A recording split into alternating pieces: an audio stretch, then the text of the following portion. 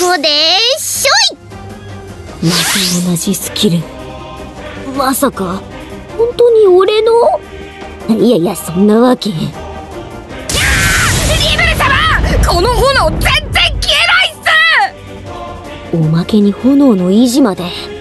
魔素量だけなら俺と同じだがそれを扱う技術はむしろ俺よりれだけ証拠をぶつけてもまだ信じませんか。じゃあ次は。待て待て。これ以上は町が持たん。大体こんな先だったやつが娘とか信じられるか。先？何か勘違いしてますね。何？あいこで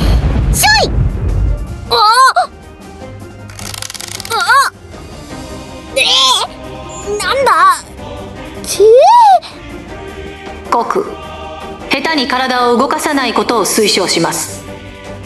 どういうことだ？手指をかたどるように編み込んだ格子を高速振動させることで斬撃効果を生み出しています。糸の子みたいなもんか？その一本一本が多重結界と身体走行に対する耐性を持っています。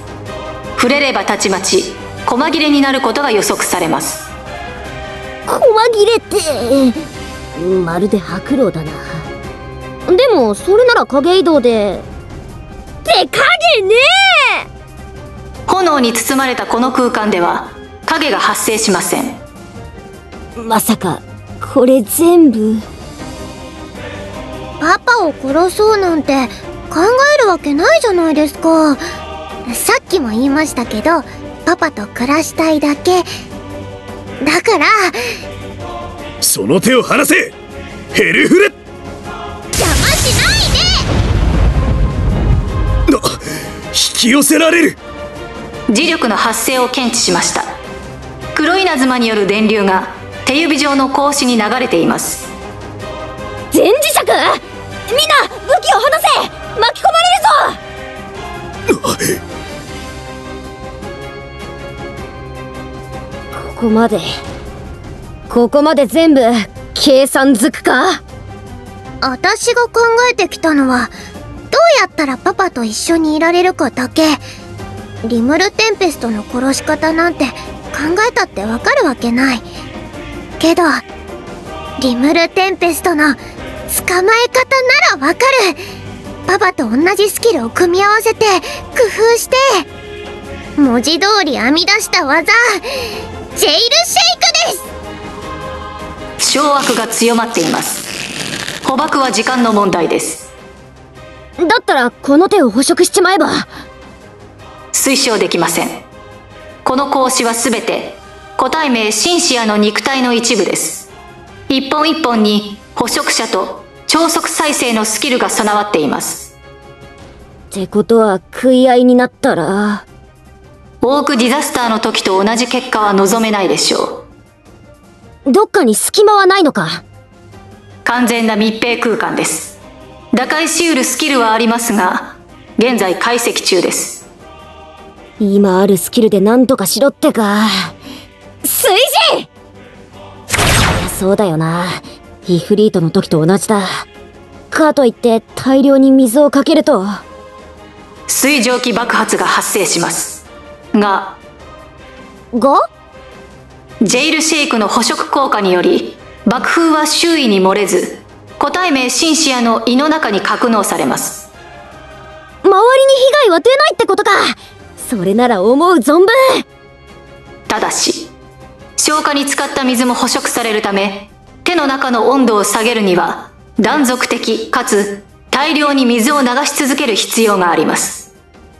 現在保有している水だけでは足りません参ったな。高三ですか？でしたらそろそろお家に帰りましょお前んちってどこにあるんだよ？あ今は鏡の中に住んでます。やっと帰る気になりましたか？うーん、まだ何とも言えないな。俺、鏡なんか入ったことないし、住み心地とか不安だな。何言ってるんですか？もう何度も。あ、そっか、覚えてないんだった。住み心地は、そうですね。何もなくって、寂しくって。お？ん？んあれ？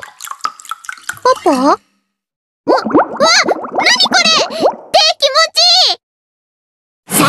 のは嫌だな。やっぱり、テンペストに住む方がいいや。え、え？あれなんでなんで？どうやって抜け出したんですか？影移動で抜け出した。そんなショットやソットの水じゃ。ああ、参ったよ。なんせ貴重なポーションまで使わされたんだからな。ポーション？それも、胃の中のポーションでも足りなかったもんだから、ありったけのヒポクテソウとマソを混ぜて、追加のポーションも作る必要があった。おしゃべりしながら、こっそりコネコネしてたんだよ。かーん。親子の交流をフェイントにするなんて。同じ手はもう通用しないぞ。それに、これ以上はマジで街が持たん。まだ暴れるってんならこっちも。うー人生初の挫折です。えう完璧だと思ったのに。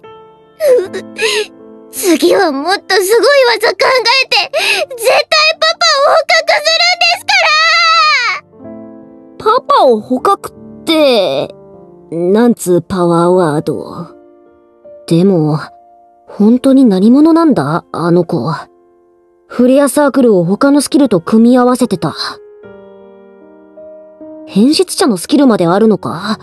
そんなの、まるでシズさんじゃねえか。シズさんは俺の中にしかいないはず。